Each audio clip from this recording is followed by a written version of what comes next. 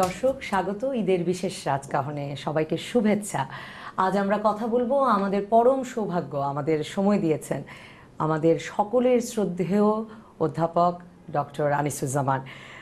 Doctor Anisuzzaman আপনাকে কৃতজ্ঞতা ও ধন্যবাদ আমাদের সময় দেওয়ার জন্য। অনেক ধন্যবাদ তোমাকে আমার এখানে আসার জন্য।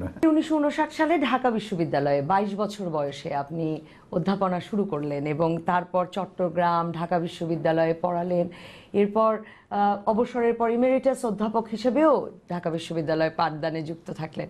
এবার জাতি আপনাকে জাতীয় অধ্যাপক মর্যাদা দিল। এটার মানে কি? মানে আমরা যাকে সর্বজনের শিক্ষক মানি, তাকেই জাতীয় অধ্যাপকের মর্যাদা দিই? মানে যে লোক অবসর নিয়েছে শিক্ষকতা থেকে এবং তার কিছু অবদান আছে শিক্ষকতার ক্ষেত্রে এবং অন্য ক্ষেত্রে, তাকেই জাতীয় অধ্যাপক করা হয়। আমার সৌভাগ্য আমি এবার জাতীয় অধ্যাপক হতে পেরেছি।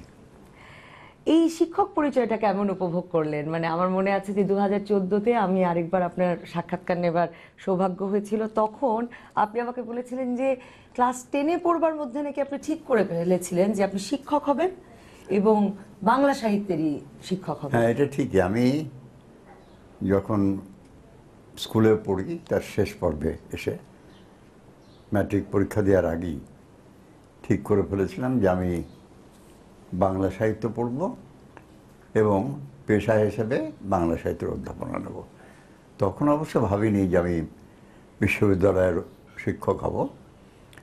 আপনি একটা ধারণা ছিল যে কলেজ, বিশ্ববিদ্যালয়ে কোথাও একটা যাব তারপরে সেই ধারণা তো বাস্তব হলো।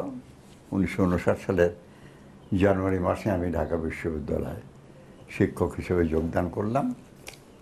তারপর অনেক বছর পেরিয়ে গেছে। আগামী বছরে ষাট বছর পূর্ণ হবে।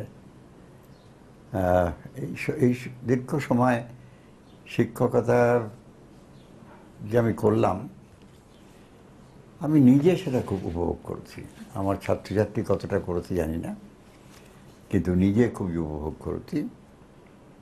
তবে একটা কথা আমার মনে হচ্ছে যেটা অধ্যাপক আব্দুর রাজাক আমাকে বলতেন, যে মনে রাখবেন শিক্ষকের বয়স বাড়ে ছাত্রছাত্রীর বয়স বাড়ে না। তার মানে একই বয়সে ছাত্রছাত্রী বিশ্ববিদ্যালয়ে ঢোকে এবং একই বয়সে বেরিয়ে যায়। কিন্তু প্রতি বছর আমাদের তো বয়স বেড়ে যায়। আমি এই শেষকালে ধর- ধরা যাক দু হাজার আট সাল পর্যন্ত তো সরাসরি পড়িয়েছি। এই শেষ পাঁচ বছরে অনুভব করেছি যে ছাত্রছাত্রীদের সঙ্গে আমার ব্যবধান বেশ অনেকখানি হয়ে যাচ্ছে।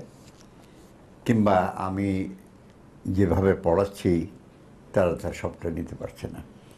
তো এই একটা যাকে বলে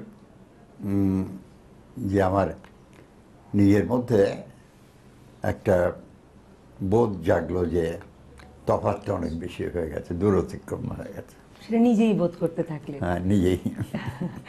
কিন্তু আপনি ক্লাসের বাইরে এত থাকলেন কেন? মানে আমি যদি বলি আমি ভুল বললে ঠিক করবেন আমাকে যে উনসত্তর থেকে চট্টগ্রাম বিশ্ববিদ্যালয়ে আপনি শিক্ষক সমিতির যে রাজনীতি সেটার সাথে খুব সরাসরি যুক্ত হলেন। তারপর একাত্তরে মানে মুজিবনগর সরকারের কাজ করলেন ফিরে এলেন।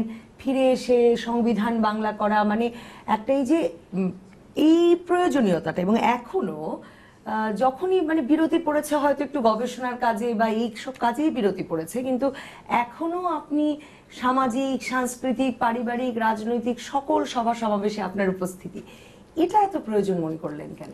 আসলে আমরা বড় হয়েছি যে অবস্থার মধ্যে দিয়ে। সেখানে এই সামাজিক, রাজনৈতিক ভূমিকা পালনের একটা তাগাদা ছিল। মানে আমি আরম্ভ করেছিলাম আসলে ভাষা আন্দোলন দিয়ে উনিশশো বাহান্ন সালে। তখন আমি আইএ ক্লাসে প্রথম বর্ষের ছাত্র। ভাষা আন্দোলনে যোগ দিলাম। তারপর থেকে রাজনীতির দিকে আকৃষ্ট হলাম। কিন্তু সরাসরি রাজনীতি করিনি কিন্তু রাজনৈতিক সচেতনতা এটা ছিল। এবং তার থেকেই যখন মনে হয়েছে যে রাস্তায় নামা প্রয়োজন নেমেছি যখন মনে হচ্ছে সভা সমাবেশে যেতে হবে গেছি এটা আমাদের সময়েরও একটা দাবি বলা যেতে পারে বা বৈশিষ্ট্য যে আমরা ভাষা আন্দোলনের প্রজন্ম বলে নিজেদের বলি। তো সেই ভাষা আন্দোলন থেকে প্রায় সেদিন পর্যন্ত আমি সব রকম গণ আন্দোলনের সঙ্গে বা সামাজিক আন্দোলনের সঙ্গে যুক্ত থেকেছি এবং আমার সামান্য হলেও ভূমিকা পালন করার চেষ্টা করেছি। সেটার একটা কারণ কি এই কিনা? যে মানে বাঙালির যে রাজনীতি মানে যে এই সময়ের ভাষা আন্দোলন থেকে আমাদের স্বাধীনতা পর্যন্ত যে রাজনীতি এখনও যেসব যে রাজনীতিতে আপনার অবস্থান বা আপনার উপস্থিতি মানে তার মধ্যে তো একটা সংস্কৃতি আর রাজনীতির একটা ওতপ্রোত সম্পর্ক হ্যাঁ আছে। হ্যাঁ এটা ঠিক এটা ঠিকই। ভাষা আন্দোলন আমাদের দৃষ্টিভঙ্গিটা সম্পূর্ণ বদলে দিয়েছিল। তো এই আন্দোলনের মধ্যে দিয়ে আমরা শুধু বাংলাকে রাষ্ট্রভাষা হিসেবে দেখতে চাইনি। বাঙালি সংস্কৃতির সমগ্রটাই নিজের বিবেচনা করেছি এবং সেটার প্রতিষ্ঠা দাবি করেছি। কাজে আমাদের জীবনে ওই রাজনীতির সঙ্গে সংস্কৃতি এবং সমাজ এর সম্পর্কটা বেশ ঘনিষ্ঠই ছিল।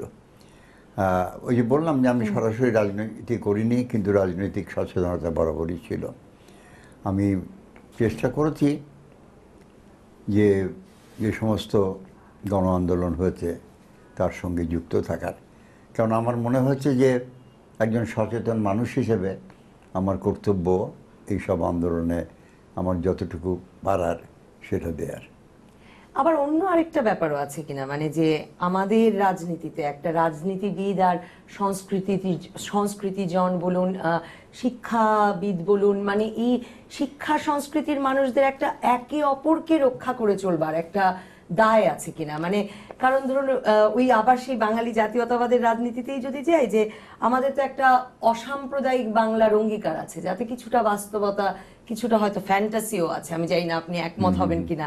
তো সেই রাজনীতি করেই তো আমরা উনিশশো একাত্তরে দেশও স্বাধীন করলাম কিন্তু এখন পঞ্চাশ হতে চলল আমাদের বয়স। কিন্তু তারপরেও তো এই যে আমরা একটা ঐক্যবদ্ধ থাকার কথা বলি এই যে আপনি বলছেন প্রয়োজনীয়তার কথা প্রয়োজনীয়তাটা তো ফোরা- ফুরায়নি মানে এটার কারণ এই কিনা যে মানে একটা কথা আমাদের ভেবে দেখতে হবে যে আমরা যখন বাঙালি সংস্কৃতির পুনঃপ্রতিষ্ঠার কথা ভেবেছি তখন কিন্তু অসাম্প্রদায়িকতা এর সঙ্গে অনিবার্যভাবে চলে এসছে। এবং পাকিস্তানের চব্বিশ বছরের, অন্তত কুড়ি বছর আমরা অসাম্প্রদায়িক রাজনীতির কথা বলেছি। এই দেশকে ইসলামী প্রজাতন্ত্র চাইনি যুক্ত নির্বাচন কোথায় এসছে, আওয়ামী লীগ, ছাত্রলীগ, এদের সংগঠনের নাম থেকে মুসলিমটা সরিয়ে দেওয়া হচ্ছে। এই একের পর এক হয়েছে যেখানে আমরা অসাম্প্রদায়িকতার দিকে গেছি। আমার মনে হয় উনিশশো একাত্তরে এটা চরম পরিচয়। কেননা উনিশশো একাত্তরে আমরা যে গভীর সংকটের মধ্যে পড়েছিলাম, পাকিস্তান সেনাবাহিনীর যে আঘাত, তার মধ্যে সমস্ত মানুষ পরস্পরকে আপন করে নিয়েছিল এবং তখন আমি জোর দিয়ে বলতে পারি যে সাম্প্রদায়িকতার কোনো লেশ আমরা কোথাও দেখিনি। কিন্তু এটা দুঃখের কথাই বলতে হবে যে বাংলাদেশ প্রতিষ্ঠার পর সংবিধানের একটা মূলনীতি, রাষ্ট্র পরিচালনার মূলনীতি ধর্মনিরপেক্ষতা হওয়া সত্ত্বেও এখানে নানা রাজনৈতিক ঘটনার কারণে ধর্মীয় রাজনীতি যারা করেন, ধর্ম নিয়ে, তাদের পুনর্বাসনের একটা সুযোগ হলো এবং সেটা থেকে ধীরে ধীরে সাম্প্রদায়িকতাও জেগে উঠল। কিন্তু কিন্তু আমি যদি মানে আপনার পরিবারের কথাই বলি যে আপনারা তখন মানে দেশভাগের সময়টায় দু তিন প্রজন্মের শিক্ষিত, সচ্ছল, কলকাতায় স্থায়ী পরিবার, আপনারাও তো মানে আপনাদের পরিবারও তো, আপনার তখন বছর দশেক বয়স, আপনার পরিবারও তো বেছে নিল এই মানে মুসলিমের দেশ পাকিস্তানকে। মানে আমার কাছে প্রশ্ন জাগে যে এই যে বাঙালির যে একটা ধর্মনিরপেক্ষতার ক্ষুধা আছে বাঙালি যে ধর্মনিরপেক্ষ একটা রাষ্ট্র প্রতি- প্রতিষ্ঠা করতে চায় এই রাজনৈতিক অঙ্গীকারে যেতে চায় সেটা কি করে ঠিক হলো? মানে এটা যে একটা মুসলমানের দেশ না করে হ্যাঁ, আমরা যে একটা আমরা সবাই বাঙালির দেশ করতে চাই এই রাজনৈতিক অঙ্গীকারকে ঠিক মানে এটা অনস্বীকার্য যে পাকিস্তান আন্দোলনের সময় আমরা আমাদের মুসলিম পরিচয়টাকে বড় করে তুলে দিয়েছি। কারণ বাঙালি মুসলমানও তো এর জন্য সংগ্রামও করেছে। হ্যাঁ কিন্তু যখন পাকিস্তান হলো তখন অনেকে অনুভব করলেন যে পাকিস্তানে আমাদের সর্ববিধ বিকাশ বাধাগ্রস্ত হচ্ছে বাঙালি বলে পূর্ব পাকিস্তানি বলে। তখন কিন্তু ওই আত্মপরিচয়ের ব্যাপারটা একটু ঘুরে গেল। তখন আর মুসলমান পরিচয়কে মুখ্য না করে বাঙালি পরিচয় মুখ্য হলো। মানে এই দুটো তো একে আরেকটার পরিবর্তে নয়। কিন্তু কোনটার উপর জোর দেবো সেইটা হ্যাঁ। হচ্ছে আমরা যখন মুসলমান পরিচয়কে বড় করেছি তখনও বাঙালি সত্তা ছিল। যখন বাঙালি বলে নিজেদেরকে দাবি করেছি তখনও মুসলমান সত্তা ছিল। কিন্তু ওই জোর দেওয়ার ব্যাপারটা। এই পাকিস্তান আমলে প্রধানত রাজনৈতিক বঞ্চনা থেকে হ্যাঁ, বৈষম্য থেকে অর্থনৈতিক বঞ্চনা। অর্থনৈতিক বঞ্চনা থেকে এই বাঙালি সত্তার উপরে জোরটা পড়ল। বাঙালি জাতীয়তাবাদের উত্থান হলো। এবং ঠিকই তুমি যেমন বলছো যে আমরা তো কলকাতা থেকে ঢাকা এসেছি অর্থাৎ ভারত থেকে পাকিস্তানে এসেছি যে মুসলমানের আবাস বই বলেই কিন্তু দেখা গেল যে মুসলমানের আবাস বলাটাই মুসলমানও তো এই একটি মুসলমানের আবাস আবাসভূমির জন্য মানে লড়াই করেছেন পাকিস্তানের জন্য লড়াই করেছেন। কিন্তু এসে দেখা গেল যে আমরা যে পাকিস্তান কল্পনা করেছিলাম সেই পাকিস্তান আমরা পাইনি। তখন চিন্তার বদলে গেল। এবং এর মধ্যে একটা জিনিস বলতেই হবে এই তুমি কথাটা তুললে বলে মানে বাঙালি মুসলমান যে বাংলা ভাষা এবং সংস্কৃতিকে এত ভালোবাসে এটা বাহান্ন সালের আগে বা আটচল্লিশ সালের আগে এটা কিন্তু আমাদের রাজনৈতিক শাসকেরা বোঝেননি। তারা মুসলিম লীগের ওপর মহলের রাজনীতিবিদ যারা ছিলেন ধর তারা বাঙালি যেসব নেতার সঙ্গে যোগাযোগ করছেন এ কে ফজলুল হক কি মৌলানা আকরম খান কি খাজা নাজিমুদ্দিন এদের সঙ্গে হয় উর্দুতে না হয় বাংলায় কথা না হয় ইংরেজিতে কথা বলতেন। কাজে বাংলা ভাষাটা যে আমাদের একটা প্রিয় ব্যাপার এটা বোঝার কোনো অবকাশ ছিল না। আটচল্লিশ সালে ভাষা আন্দোলন হলো সেটা কোথায় রাজনৈতিক আন্দোলন হিসেবে দেখছেন? কিন্তু বাহান্ন সালে ভাষার জন্য মানুষ যখন প্রাণ দিল তখনই প্রথমে সকলে বুঝলেন যে আমাদের বাঙালি সত্তার শিকড়টা কত গভীরে প্রথিত কিন্তু একটা বিরতিতে যাই, বিরতির পর ফিরবো যে গভীরে প্রথিত তো বটেই, যে বাঙালি শুধু তার মানে মানে মুসলমানের দেশে সে খুশি নয়, সে একটা বাঙালি মুসলমানের দেশও চায়। কিন্তু মুসলমান বাঙালি না বাঙালি মুসলমান, এই দ্বন্দ্বটা এখনও চলছে কিনা? রাজনীতিতে, সংস্কৃতিতে এই প্রসঙ্গে ফিরবো, একটা বিরতিতে যাই। দর্শক থাকুন, ঈদের এই বিশেষ রাজকাহনে আমাদের সঙ্গে আছেন সর্বজন শ্রদ্ধেয় জাতীয় অধ্যাপক ডক্টর আনিসুজ্জামান।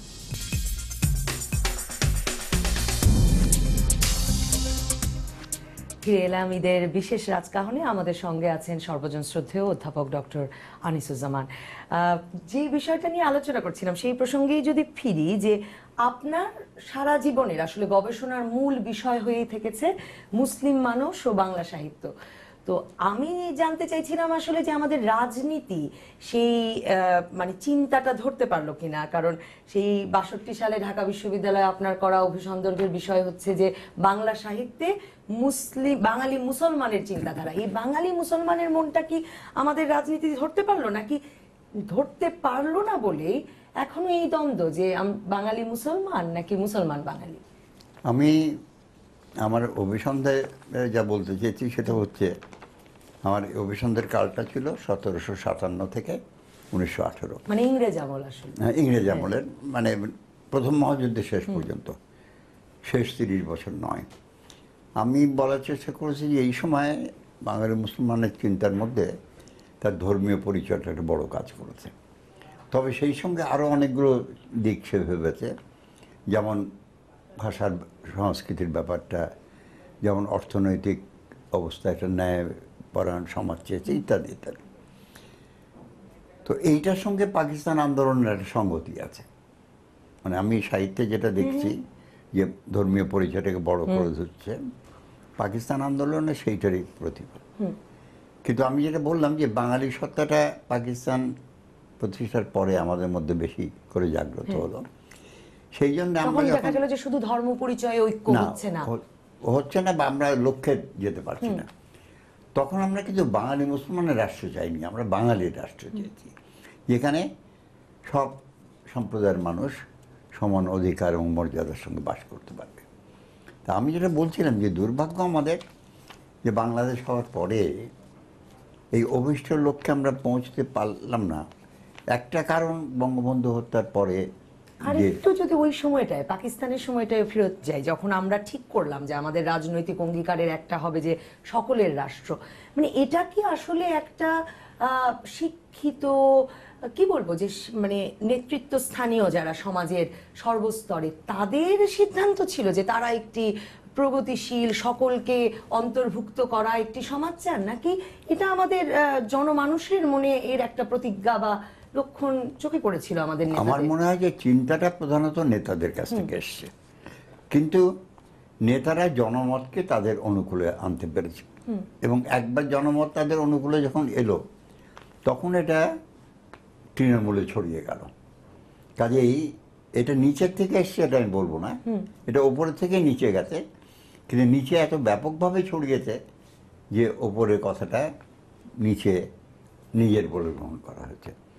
তো আমরা এইটা করতে পারলাম এবং আমাদের নেতাদের পরম গৌরব বিশেষ কৃতিত্ব এই যে যে পাকিস্তান হয়েছে মানুষ ধর্মীয় পরিচয় নিয়ে মাতামাতি করছে। তার মধ্যে তারা বলেছেন যে না এটা ধর্মীয় পরিচয় যথেষ্ট না এবং আমরা এটা ধর্মভিত্তিক রাষ্ট্র করব না। এটা তো জনপ্রিয় হওয়ার মতো কথা নয়। কিন্তু সাহস করে তারা বলেছেন এবং মানুষকে বোঝাতে পেরেছেন মানুষকে সঙ্গে নিতে পেরেছেন কিন্তু তাহলে এই যে মানুষকে সঙ্গে নিতে পারলাম আমরা সেই সময়ে মানে আমাদের নেতারা পারলেন এবং এ তো ঠিক যে রাজনীতি তো আসলে জনমানুষের সমর্থন ছাড়া চলে না। তাহলে এই যে এখনও আমাদের একটা ভয় যে এই গেল এই গেল যে প্রগতি আর সংস্কৃতির পথ থেকে এই বোধহয় আমরা বিচ্ছিত হলাম এই বোধহয় মানে আমরা মানে খুবই জনপ্রিয় শব্দবন্ধ না যে আমরা উল্টো পথে হাঁটা শুরু করলাম কিনা। মানে এই যে সংখ্যাগরিষ্ঠ মানুষের ওপর ভরসা না রাখতে পারার এই যে ভয়টা এটা একটা আরোপিত কিনা? এই ভয় টিকিয়ে রাখাটাও একটা রাজনীতি কিনা? না ভয়টা অনেকখানি বাস্তব। মানে যদি আমরা এইভাবে চিন্তা করি যে বাহাত্তর সালে যে সংবিধান রচিত হলো তার একটা মূলনীতি ধর্মনিরপেক্ষতা গণতন্ত্র আছে, বাঙালি জাতীয়তাবাদ আছে, সমাজতন্ত্র আছে। তো এই ধর্মনিরপেক্ষতার রাজনীতি আমরা কদিন করতে পারলাম? বঙ্গবন্ধু হত্যার পর তো সংবিধানের এই নীতি বদলে গেল। এবং তখন যে সমস্ত রাজনীতিবিদ পাকিস্তান আমলে ধর্ম নিয়ে রাজনীতি করতেন, তারা পুনর্বাসিত হলেন। এইটা একটা বড় ক্ষতি। এবং তারা যে অনেক বছর পর্যন্ত আবার ধর্মের কথা লোককে বলতে পেরেছেন, ধর্মীয় পরিচয়ের উপরে জোর দিয়েছেন। তার ফলে যেটা হয়েছে মানে তাদের হয়তো বাংলাদেশে প্রথম থেকে এই কাজটা তারা করেছেন। মানে যেটা জনসভা করে করেননি, সেটা ওয়াজ মাহফিলের মধ্যে দিয়ে করেছেন, ওরসের মধ্যে দিয়ে করেছেন। কাজে তারা এক ধরনের প্রচারণা বাংলাদেশ হওয়ার শুরু থেকেই চালিয়ে এসছেন এবং পঁচাত্তর সালের পরে এটা একটা বড় জায়গা পেয়েছে এবং তার পরিণাম এখন আমরা দেখছি যে বাংলাদেশে আবার সাম্প্রদায়িকতা কিন্তু ফিরে এসছে। এই যে বিভিন্ন জায়গায় আমরা সে রামুর ঘটনা থেকে ব্রাহ্মণবাড়িয়ার ঘটনা পর্যন্ত দেখি, কয়েক বছর। কয়েক বছরে, অন্তত পাঁচ বছর। সাম্প্রদায়িক হানাহানি হানাহানি বললে ভুল হবে। সাম্প্রদায়িক নির্যাতন বাংলাদেশের বিভিন্ন অঞ্চলে হচ্ছে। এটা কেন হচ্ছে এটা তো হওয়ার কথা ছিল জনমানুষের ভেতরে একরকমের সমর্থন যদি না থাকে সেই রাজনীতির সেই রাজনীতি টিকলো কি করে এত বছর? না। মানে বঙ্গবন্ধু হত্যার পরে বলছেন মানে যদি একুশ বছরই ধরি যে আপনি যদি ছিয়ানব্বই আওয়ামী লীগের আবার ক্ষমতায় আসার কথাও বলেন মানে একুশ বছর তো টিকলো সেই রাজনীতি তার মানে একটি সমর্থন আছে। মানে আসলে যেটা হচ্ছে যে ধর্ম এমন একটা বিষয় যেটা মানুষকে সহজে টানে। সেই টানে বহু মানুষ বিভ্রান্ত হয়েছে। যেমন রাষ্ট্রধর্মের কথা। রাষ্ট্রধর্ম তো মানুষ চায়নি। কিন্তু ওপর থেকে দেওয়া হলো। তখন সে এটা গ্রহণ করেছে। এইভাবে অনেকগুলো জিনিসই ওপর থেকে আবার এসছে। এখন কিন্তু এত কিছুর মধ্যেও তো মানে শিক্ষার হার বেড়েছে। মানে আমি টেলিভিশনেই দেখি যে আপনার কখনো দেখার সুযোগ হয়েছে কিনা? ওই যে বাচ্চারা টিফিনের ফাঁকে গান করে সেটা ধারণ করে দেখায়। একদম ছোট শহরের বাচ্চারা রবীন্দ্রসঙ্গীত গাইছে সুন্দর উচ্চারণে নজরুল সংগীত গাইছে তাদের কবিতা আবৃত্তি করছে এবং বুঝ- বোঝা যায় যে তারা আবার শিখেছে এমন কারও কাছ থেকে যারাও শিখেছে। তো এই যে একটা সংস্কৃতি আর সংস্কৃতি চর্চার প্রসার সেটা নিশ্চয়ই মানে একাত্তরে ভাবা যেত না বা মানে সেটা তো সকল রাজনীতির মধ্যেও বেড়েছে আমি মনে করি যে সংস্কৃতির প্রসার যত হবে তত অসাম্প্রদায়িক চেতনা মানে বিস্তৃত হবে। কিন্তু ওই যে বললাম যে জনসাধারণ এখনও আমি মনে করি অসাম্প্রদায়িক। কিন্তু কিছু মানুষ যে ঘটনা ঘটিয়ে ফেলে সেইটার প্রতিরোধ এখন জনসাধারণ করছে না। জনসাধারণের দিক থেকে ত্রুটি এখানেই বা পশ্চাৎপদতা এখানেই বা উল্টো পথে হাঁটা এখানেই যে তারা আগে যেমন একটা ঘটনা ঘটলে দৌড়ে গিয়ে প্রতিরোধ করতো এইটা এখন করছে না। মানে কেন করছেন আপনিই বলছেন যে সংস্কৃতি চর্চা করলে মানুষের মনের মুক্তি ঘটে। সারা দেশে শতাধিক বিশ্ববিদ্যালয় আছে এখন। আহ, মানে বিশ লাখ ছেলে মেয়ে এসএসসি দেয়। তার মানে তো পড়বার যোগ্যতা সম্পন্ন। মানুষের সংখ্যা বাড়ছে বই পড়া বেড়েছে। তাহলে মানে মনের মুক্তি ঘটছে না কেন? সমীকরণ তো সহজে হওয়ার কথা ছিল। না এখানে যেটা আমার নিজের অভিজ্ঞতা বলছে যে আমি যখন লোককে জিজ্ঞেস করেছি তারা বলেছে যে এগুলো দমন করার জন্য প্রশাসন আছে। তারা মনে করছে দায়টা তাদের অতটা নয়। আমি তো অসাম্প্রদায়িক আছি আমি ঘরে তো বসে থাকলাম। কিন্তু যে সাম্প্রদায়িক গোলমাল করছে তাকে প্রশাসন দেখবে। এইটা একটা ঘটেছে। আগের দশকগুলো, পঞ্চাশে, ষাটে আমরা যেমন নিজেরা দায়িত্ব নিয়েছিলাম, সেই দায়িত্ব নেওয়ার ব্যাপারটা এখন নেই। এখন এরা সবাই ধরে রেখেছে যে পুলিশ করবে, রাজনৈতিক দল করবে, আমার না করলেও হবে। এইখানেই আমি বলব যে আমাদের সমস্ত অগ্রগতি সত্ত্বেও চিন্তার একটা সীমাবদ্ধতা নাকি এটাও একটা কারণ যে মানে সংস্কৃতি চর্চার কোনো মানে সঙ্গে সংস্কৃতি চর্চার জ্ঞান চর্চার তো একটা পার্থক্য আছে নিশ্চয়ই। মানে সংস্কৃতি চর্চার সঙ্গে জ্ঞান চর্চাটা সেরকম বাড়েনি। মানে একটা আমরা আদর্শিক ভিত্তি বা মানে বিশ্বাসযোগ্য পরিমাপক গড়ে তুলতে পারি নাই যে আহ, সংস্কৃতি চর্চা বাড়ছে কিন্তু তার সঙ্গে তার একটা আদর্শিক মনের ভেতরে পরিবর্তন হচ্ছে কিনা।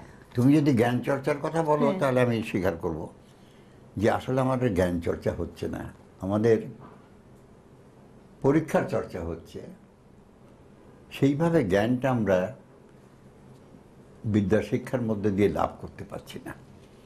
যার ফলে পরীক্ষায় ভালো করাটা একটা লক্ষ্য হয়ে গেছে, কিন্তু মূল্যবোধ লাভ করাটা এটা পেছনে চলে গেছে।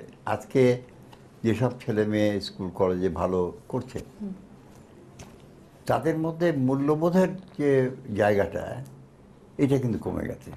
ফলে ওই যে আমি যেটা বললাম, তারা নিজেরা হয়তো সংস্কৃতি চর্চা করছে, এমনকি লেখাপড়ার চর্চা করছে, কিন্তু আদর্শগতভাবে যে মূল্যবোধগুলোকে জীবনে ধারণ করা দরকার এবং এই মূল্যবোধের জন্য কিছু করা দরকার, এই বোধটা কমে গেছে।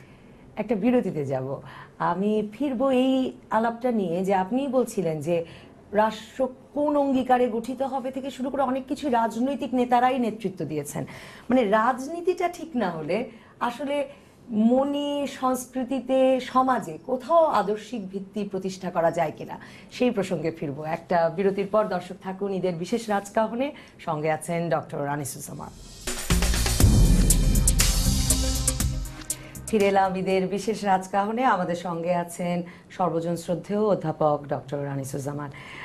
আমরা আলোচনার যেখানে ছিলাম যে একটা মানে আদর্শিক ভিত্তির কথাও বলছিলেন মনের মুক্তি ঘটে কিনা পড়াশোনা করলে সংস্কৃতি চর্চা করলে কেন ঘটছে না সেটাও বলছিলেন। মানে আবার রাজনৈতিক নেতৃত্বের প্রয়োজনীয়তার কথা বলছিলেন। মানে আমার কাছে মনে হয় যে রাজনীতিতে যদি আদর্শের ভিত্তি প্রতিষ্ঠা না হয় তাহলে আসলে কি সমাজে সংস্কৃতিতে পড়ালেখায় সম্ভব? কারণ সুশাসন ছাড়া মানে আমি যদি একদম সরাসরি বলি যে সুশাসন ছাড়া আসলে আদর্শের রাজনীতি বা সংস্কৃতি প্রতিষ্ঠা সম্ভব কিনা? কারণ ধরুন আপনিও স্যার ক্রস ফায়ার করেন আমিও করি। তখন আসলে আমার রাজনীতিতে কি আদর্শ আছে সেটা কেউ শুনতে চায় কিনা? সুশাসনের কথাটা আমরা পরে ধরি। এখন তোমার যে মূল প্রশ্ন ছিল যে জনসাধারণের মধ্যে রাজনীতিটা ছড়িয়ে যায়। কিন্তু ছড়ায় তো রাজনীতিবিদদের মধ্য দিয়ে রাজনৈতিক সংগঠনের মধ্য দিয়ে। রাজনীতিবিদদেরই চিন্তা করতে হবে যে তারা কীভাবে জনগণের কাছে যাবেন। যেমন আমি বললাম যে যখন পাকিস্তান হয়েছিল তারপরে আমাদের নেতারা একটা অসাম্প্রদায়িক দেশের জন্য সবার কাছে ছুটে গেলেন এবং সমর্থনটা পেলেন। এইটা টিকিয়ে রাখতে হয়। আমাদের যেটা এখন হয়েছে অনেক ক্ষেত্রেই যে বাংলাদেশের রাজনীতি এটার মধ্যে এই আদর্শিক অংশটা মূল্যবোধের অংশটা এটা কমে গেছে। এটা ক্রমশ ভোটের রাজনীতির দিকে চলে যাচ্ছে। যে আমাকে ভোট দাও বা আমি আমরা কখন মুক্তিযুদ্ধের কথা বলছি ঠিকই বঙ্গবন্ধুর কথা বলছি ঠিকই। কিন্তু মানুষকে এই আদর্শে উদ্বুদ্ধ করার, অনুপ্রাণিত করার কোনো চেষ্টা রাজনৈতিক দলগুলোর নেই। কাজেই যেটা ঘটেছিল, একসময় যে রাজ- রাজনীতিটা চালিয়ে গিয়েছিল সকলের মধ্যে, এখন সেটা নেই। এখন জনসাধারণের একটা অংশ হয়তো ইউনিয়ন পরিষদের চেয়ারম্যানের কাছে আসছে কোনো দাবি নিয়ে। সংসদ সদস্য যাচ্ছে তার কোনো অভিযোগ নিয়ে। কিন্তু এই মূল্যবোধের ব্যাপারটা এইটা পর্যদস্ত হচ্ছে। দুটো প্রশ্ন এখান থেকে। মানে আমি যদি আরও পরিষ্কার করে বুঝতে চাই আমার প্রশ্ন মূল প্রশ্ন ওটাই। যে টিকিয়ে রাখার রাজনীতি কেন করে যেতে হবে অসাম্প্রদায়িক রাজনীতিকে? মানে এ যদি না টেকে সমাজে এ যদি সমাজের নিজের চাহিদা না হয় সহজাত চাহিদা না হয় তাহলে আসলে একটি সংখ্যাগরিষ্ঠ একই রকম দেখতে একই রকম ধর্মের একই ধর্মের লোকের দেশে এই রাজনীতিটাকে টিকিয়ে রাখতে হবে কেন? এটাই বারবার পরিষ্কার করে বুঝতে চাইছি। আর সুশাসনের প্রসঙ্গে একটা কারণ এটা বারবার বলতে হচ্ছে হ্যাঁ। কেন? তার একটা কারণ ধরো প্রতি বছরই তো মানে আমার দেশ অসাম্প্রদায়িক না হলেই বা কি আসে যায়? এটা টিকিয়ে রাখতে হবে এই জন্যে যে প্রতি বছরই আমরা তরুণ বা কিশোর জনসংখ্যা বৃদ্ধি দেখতে পাচ্ছি। হ্যাঁ। তাদের কাছে নতুন করে কথাটা পৌঁছতে হবে। তাদের বাপমা হয়তো শুনেছেন কিন্তু বাপ মার কাছেই তারা যে সবসময় পায় তা না। এই জন্যই বারবার করে কথাটা বলা দরকার যে আমাদের এই আমাদের আদর্শ এই আমাদের লক্ষ্য। এবং এইটা ভালো জিনিস এর জন্য তোমাকে কেন দাঁড়াতে এটা হবে। ভালো জিনিস? ওই যে বলা যে এটার অভাব যে- যেমন- যেমন সাম্প্রদায়িকতা প্রশ্ন। যে সাম্প্রদায়িকতা মানে তো পরস্পরকে অবিশ্বাস জনসাধারণের মধ্যে ভেদ সৃষ্টি করা। এইটা ভালো জিনিস নয়। আমরা এক হয়ে থাকতে চাই সবাই মিলে দেশটা গড়তে চাই। এই কথাটা বোঝাবার আবশ্যকতা আছে। এবং এইটা যতই মনে হয় পুনরাবৃত্তি তাহলে যেহেতু প্রতি বছরই আমাদের জনসংখ্যায় যুক্ত হচ্ছে নতুন প্রজন্ম তাদের কাছে এটা বলা দরকার। এখন তরুণ প্রজন্মই আসলে হ্যাঁ সংখ্যায় বেশি। তরুণ প্রজন্মই তো নেতৃত্ব দেয় আসলে। কিন্তু মানে একটা রাষ্ট্র যদি মানে ওই যে যেটা বললাম যে সংখ্যাগরিষ্ঠ বাঙালি সংখ্যাগরিষ্ঠ সুন্নি মুসলমান এই দেশের মানুষ যদি ঠিক করেন যে আমরা আমরাই থাকব আর বাকিরা থাকতে পারবেন না বা বাকিরা থাকবেন কিন্তু আহ, মানে অসাম্প্রদায়িকতার চেতনা বা ধর্মনিরপেক্ষতাকে আমার একটি রাষ্ট্রীয় অঙ্গীকার হিসেবে ঠিক করতে হবে না। আমি এমনি একটি ন্যায়সঙ্গত সমাজ গড়বো যেখানে থাকবেন সংখ্যা লঘুরাও থাকবেন। তাতেই বা অসুবিধা কি? মানে এই রাজনীতিটাকে টিকিয়ে রাখতে হবে। না এইটা হলে যেটা হয় যে বাংলাদেশ যে কারণে হয়েছিল সেই কারণটা থাকে না। কারণ পাকিস্তানে তো এটাই ছিল যে সংখ্যাগরিষ্ঠ। মুসলমান আমার রাষ্ট্র। কিন্তু আমরা ওখান থেকে বেরিয়ে এসে সকলে রাষ্ট্র চেয়েছি। আবার যদি বলে যে আমি বাঙালি মুসলমানের রাষ্ট্র চাই সংখ্যালঘুদের বাদ দিয়ে সে আদিবাসী হোক হিন্দু বৌদ্ধ যাই হোক না কেন তাহলে তো ওইখান থেকে সরে যাওয়া হচ্ছে। এবং বাংলাদেশ যার জন্য হয়েছিল সেটা তখন আর কার্যকর থাকছে না। এটি আমি এই কথাটাই বলতে যাচ্ছি তোমাকে যে বাংলাদেশ মানে কেবল একটা স্বতন্ত্র ভূখণ্ড নয় এর বাংলাদেশ মানে কতগুলো আদর্শিক চেতনা। এবং সেই চেতনাকে ধরে না রাখলে বাংলাদেশ বাংলাদেশ থাকে না।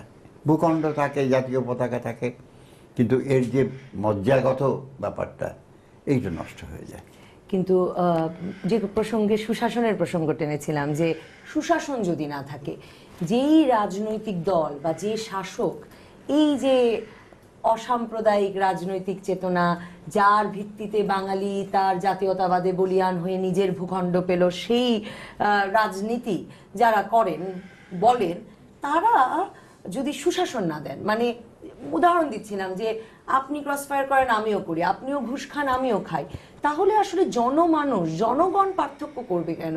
জনগণ ওই আদর্শের পেছনে দাঁড়াবে কেন? আর আপনি এবার রাজনীতি দিয়ে প্রতিষ্ঠা করবেন কি ঠিকই তোমার কথাটা আমি সেই জন্য বলছি যে মূল্যবোধটা ছড়িয়ে দিতে হয় এটার জন্য লেগে থাকতে। আর সুশাসন যেটা সুশাসনে তো কতগুলো রাজনৈতিক ভিত্তি আছে। রাজনৈতিক অর্থনৈতিক ও সামাজিক, হ্যাঁ। সামাজিক ভিত্তি আছে। সেইটা ব্যাপারে বাংলাদেশের অবস্থা কি? যদি সংক্ষেপে বলি তাহলে বলব যে আমাদের গণতান্ত্রিক প্রতিষ্ঠানগুলো রাষ্ট্রে শক্ত ভিত্তির উপর প্রতিষ্ঠিত হতে পারেনি। এই যে তুমি বললে প্রায় পঞ্চাশ বছর আজও জাতীয় সংসদ আমাদের রাজনীতির কেন্দ্র হয়ে ওঠেনি। এখনও দেখা যাচ্ছে যে সংসদে যাইতে সংসদের বাইরে আমরা বেশি কথা বলছি। এটা তার দুর্বলতা। আমাদের বিচার বিভাগ আমাদের আইন বিভাগ মানে যেটা সংসদ আমাদের সংবাদপত্র আমাদের আইনজীবীরা, তা এই যে আমাদের শিক্ষকরা, এই যে নানা ক্ষেত্র আমরা দেখছি, এই প্রতিষ্ঠানগুলো যদি শক্ত ভিত্তির উপর দাঁড়ায়, তাহলে একটা প্রতিষ্ঠান দুর্বল হলেও তাকে দেখিয়ে দেওয়া যায় যে তোমার কিন্তু দুর্বলতা আছে। বিচার বিভাগ একটা কাজ পালন করবেন। নির্বাহী বিভাগ আরেকটা কাজ পালন করবেন। নির্বাহী বিভাগ ভুল করলে বিচার বিভাগ দেখিয়ে দেবেন। বিচার বিভাগে যদি দেখা যায় ঠিক বিচার পাওয়া যাচ্ছে না, আইন বিভাগ, সংসদ তার নতুন আইন করবেন। এই যে পরস্পরের কাজ ভাগ করে দেওয়া আছে, প্রত্যেকেরই একটা শক্ত ভিত্তির উপর দাঁড়াতে হবে। এইটার অভাব। এবং এইটার অভাবের ফলে আমাদের অনেক ক্ষতি হচ্ছে। আরও বলি আমি আমি একটা বিরতিতে যাই আমি আচ্ছা, থামা আচ্ছা। এখানে ফিরে এসে আমি আসলে জানতে চাইব যে রাজনৈতিক আপনি আপনার কথাটা তো শেষ করবেনই আর রাজনৈতিক অঙ্গীকার ছাড়া আসলে প্রতিষ্ঠানও গড়ে ওঠে কিনা? কারণ অনেকে তো বলেন যে মানে একরকমের কুশাসন চালিয়ে যেতেও প্রতিষ্ঠানগুলোকে শক্তিশালী হতে দেওয়া হচ্ছে না। একটা বিরতির পর দর্শক।